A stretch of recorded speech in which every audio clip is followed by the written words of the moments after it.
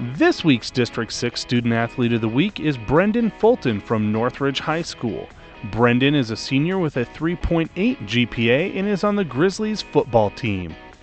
Some of Brendan's most memorable accomplishments as a student athlete was going to the playoffs in football, basketball, and baseball, and also winning the Legion B State Baseball Championship. This season, Brendan would like to make it to the state playoffs in 3A football. One lesson that Brendan has learned from playing high school sports is dedication. High school sports show you how the time you put in for preparation directly relates to your performance.